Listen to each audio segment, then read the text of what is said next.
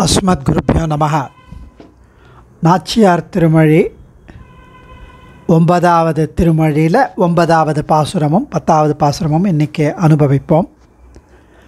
பெருமாள் வந்து சேருவதற்கு முன்னாடியே நான் மகிழும்படி அவன் சங்கும் அவன் சார்கமும் கொண்டு அதை சப்தம் பண்ணி ஒலிக்கணும். சங்கு சங்கு முழங்கி அந்த வில்லோட சவுண்டு வந்து நான் வரேன் அப்படின்னு தெரிவிக்கணும் அப்படின்னு சொல்கிறா இந்த ஒன்பதாவது பாசுரத்தில். கோங்கலரும் பொழில் மாலிருஞ்சோலையில் கொன்றைகள் மேல் தூங்கு பொன் மாலைகளோடு உடனாய் நின்று தூங்குகின்றேன். பூங்கொள் திருமுகத்து மடு தூதிய சங்கொலியும் ஷார்கவில் நானொலியும் தலைப்பெய்வது எஞ்ஞான்று கொலோ அப்படிங்கிறா.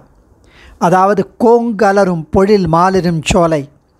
கோங்கு மரங்கள்லாம் மலர்ந்து இருக்கும் அந்த அழகான சோலைகளை உடைய திருமாலரின் சோலை மலையில் கொன்றைகள் மேல் தூங்கு பொன் மாலைகளோடு உடனாய் நின்று தூங்குகின்றேன்.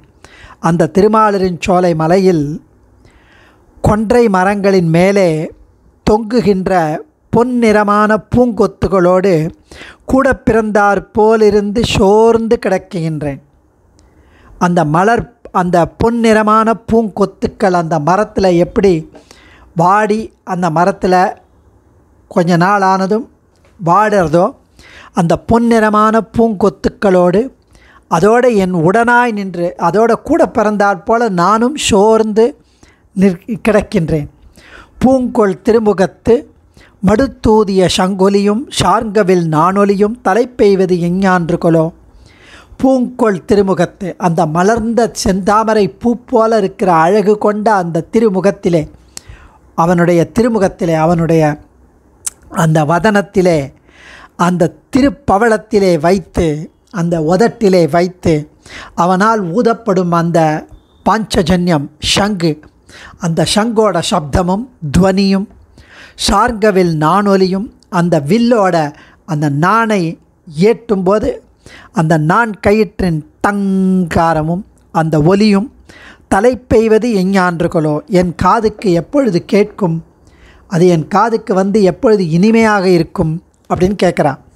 கோங்கு மரங்கள் மலர்ந்து விளங்கும் சோலைகளை உடைய திருமாலரின் சோலையில் அந்த மரங்களில் தொங்குகின்ற பொன்னிறமான பூங்கொத்துக்களோடு அந்த பூங்கொத்துக்கள்லாம் எப்படி மரத்திலேயே வாடுறதோ அது மாதிரி நான் இங்கே அதன் உடன் பிறந்தவள் போல நானும் வாடுகின்றேன். சோர்ந்து கிடக்கிறேன். அந்த சோர்வு நீங்குவதற்கு அந்த அழகு கொண்ட திருப்பவளத்திலே அவன் சங்கை வைத்து ஊத வேண்டும். அந்த ஒலி என் காதில் விழ வேண்டும். அது இல்லாமல் அந்த ஷார்ங்க வில் அந்த நாணை ஈட்ட வேண்டும். அந்த அந்த நாணை அதை டங்குன்னு அதை கேட்கும்போது அது வந்து என் செவிக்கு அது அந்த சப்தங்கள் நெருங்குவது எப்போது அப்படின்னு ரொம்ப அரற்றுகிறாள் பெருமாளுக்கு சமர்ப்பிக்கத்தகும் பூக்கள் நிறைந்த அந்த திருமாலரின் சோலையில் கொன்றை பூக்களுக்கு என்ன கதி? அழகனை அலங்கரிக்க அதுக்கு பாக்கியமே இது. கொன்றை சூடு கொன்றை பூக்கள் சூடுபவன் சிவன் தானே அது பெருமாளுக்கு கிடையாது. அதனால் அது வந்து வாடி போயிருக்கான் அந்த பூ. நான் வந்து பெருமாளுக்கு போலையே அப்படின்ட்டு. அதை போல் இந்த வேயர்குல பெரியோரின் பெண் எனக்கு.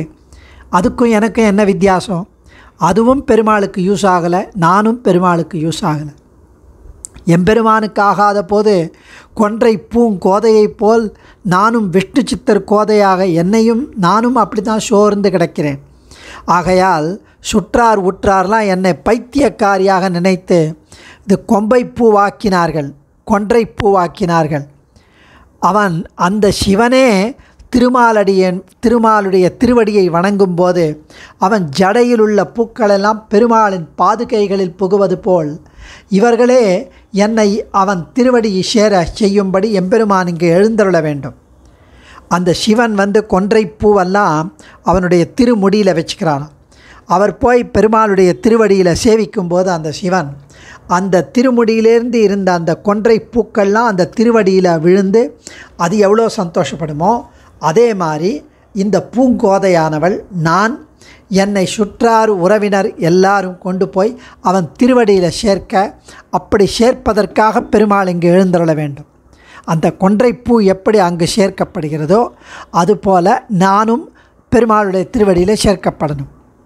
ஸோ எழுந்தருளுவதை எதிர்பார்க்கும் எனக்கு ருக்மிணி பிராட்டிக்கு எப்படி கண்ணனோட சங்கொலி அவள் செவியில் விழுந்ததோ சீதா பிராட்டிக்கு எப்படி ராமபிரானுடைய வில் ஒலி அவள் செவியில் விழுந்ததோ காதில் விழுந்ததோ அதுபோல் அந்த இரு ஒலியும் ருக்மிணி பிராட்டி மாறியும் சீதா பிராட்டி மாறியும் என் காதில் விழுவது எப்போது? அந்த இருவரின் பாடு நான் ஒருத்திப்படுகிறேனே? ருக்மிணி பட்ட பாடும் சீதா பிராட்டி பட்ட பாடும் சேர்ந்து நான் படுகிறேனே? அந்த குருவிகள் உரைத்தது உண்மை என்றால் இந்த ஒலியிலிருந்து எனக்கு தெரியணும். அதை கேட்டு நான் சந்தோஷப்படணும். அப்படின்னு தெரிவிக்கிறாள். அதே மாதிரி அடுத்த பலஸ்ருதியில் சந்தொடு காரகிலும் சுமந்த தடங்கள் பொருது வந்திழியும் சிலம்பாருடை மாலிரின் சோலை நின்ற சுந்தரனை சுரும்பார் குழற்கோதை தொகுத்துரைத்த செந்தமிழ் பத்தும் வல்லார் திருமாலடி சேர்வர்களே அப்படின்றார் சந்தன மரங்களையும் அகிர்கட்டைகளையும் பெயர்த்தெடுத்து கொண்டு அந்த ஆறு அந்த நூப்புற கங்கை அப்படியே மேடான இடங்களை அறுத்து கொண்டு வேகமாக வரும் வெள்ளமிட்டு வரும். அந்த நூப்புற கங்கையை உடைய அந்த திருமாலரின் சோலையில் நின்ற திருக்கோலம் பூண்ட அழகனை அழகரை வண்டுகள் நிறைந்த கூந்தலை உடைய ஆண்டாள் கருத்தையும் சொற்களையும் சேர்த்து செம்மையான இந்த தமிழ் பத்து பாசுரங்களையும் கற்றவர். இந்த அர்த்தத்தை கேட்டவர் ஸ்ரீயப்பதியின் திருவடிகளை நிச்சயம் பெறுவார்கள். எம்பெருமான் நேர்படவில்லையே என்ற வருத்தம் முதலான தடைகளையெல்லாம் அறுத்து தள்ளிக்கொண்டு அந்த சந்தனத்தையும் அந்த கட்டையையும் எப்படி அடிச்சுன்னு போகிறதோ அது மாதிரி நம்முடைய வருத்தத்தையும் அடித்து கொண்டு போய் நம்மளை சந்தோஷப்படுத்தி பெருமாள் திருவடியில் சேர்க்கும்.